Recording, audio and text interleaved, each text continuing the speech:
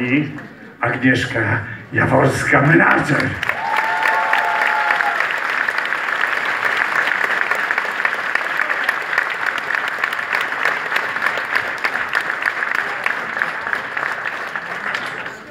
Proszę Państwa, a też zawdzięczamy to w jakimś sensie również te dzisiejsze święto temu, że Warner Music Poland wydał tą płytę. I dla Piotrka Kabaja, szefa tej firmy, też złota płyta.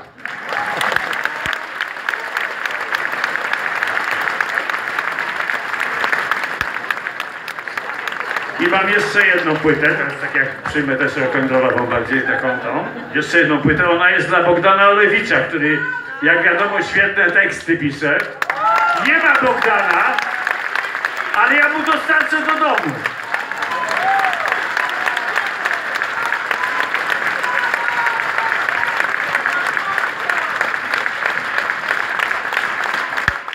Bardzo dziękujemy. Drodzy Państwo, to jest, no to jest tak zwany kolejny KWS, czyli kolejny wielki sukces.